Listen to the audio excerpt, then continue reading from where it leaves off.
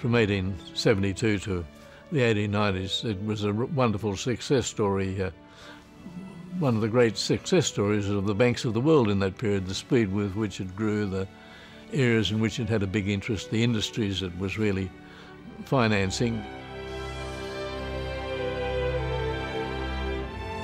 He was somebody who uh, built up an empire, ran it himself, uh, made as many decisions as possible, didn't tell the board of decisions if he thought uh, they might disapprove.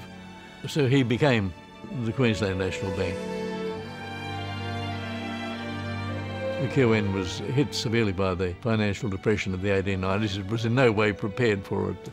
Uh, it had uh, too many deposits that were short term and too many of its loans were long term. Uh, its, um, its board obviously didn't have control of its general manager, so the crash of the QN, such a huge and important institution, was a devastating blow for Queensland. The first half of 1893 is the worst half year in Queensland's recorded history.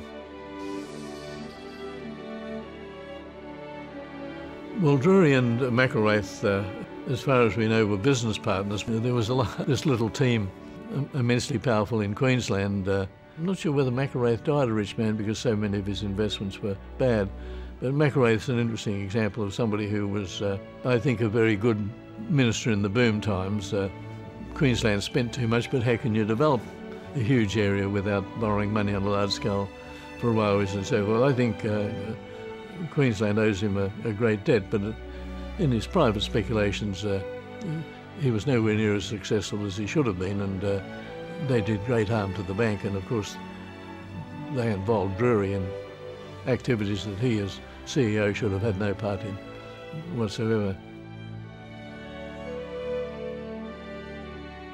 He had to negotiate with the Queensland government a deal whereby they would keep their money in the bank uh, for as long as possible because if they withdrew it, the bank would be insolvent again. In 1918, that's after 22 years, that he paid off the final debts of the bank. But one of the difficulties of the bank was that uh, it had lent money to many sheep and cattle stations which had no hope whatsoever of repaying the money. Uh, eventually, the bank took over. They had big sugar interests uh, from sugar people who couldn't pay their debts, uh, especially around the Bundaberg area. And uh, they floated them as the Millaquin Sugar Company.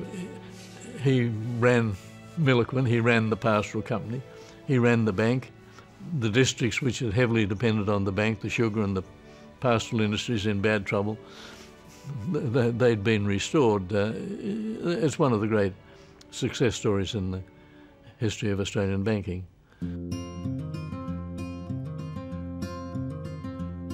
The acquisition of QNB in 1948 by, by the National Australia Bank was one of the most significant developments in the history of the National Australia Bank. It gave us a very strong presence in, in Queensland. Uh, it took our market share in business banking and in agri banking to over 25%.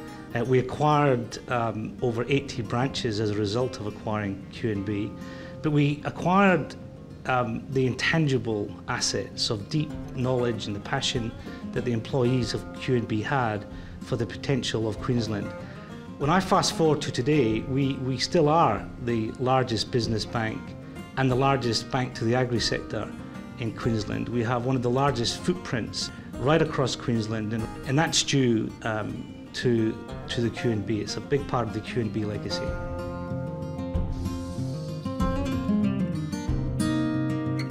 So the QN, uh, which would I suppose be the oldest of the powerful Queensland institutions, the fact that it was taken over by Melbourne would be a great uh, disappointment to the true blue Queenslanders, whose hearts stopped ticking once they crossed the southern border.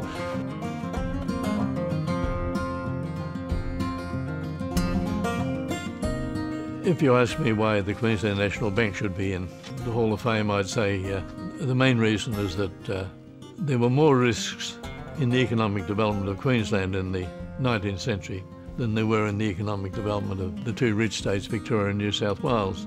And uh, the Queensland National Bank took more risks than anybody else. The second reason you would put it in is that uh, it gained in Australia, in its own territory, a position of dominance such as no other bank had gained in its own territory in the 19th century.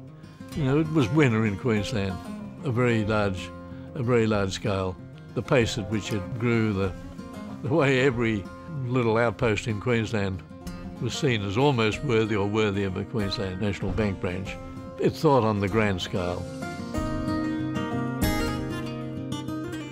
Uh, I think you'd have to say that uh, it would be hard to think of another institution that put more effort into trying to develop tropical Australia than the Queensland National Bank.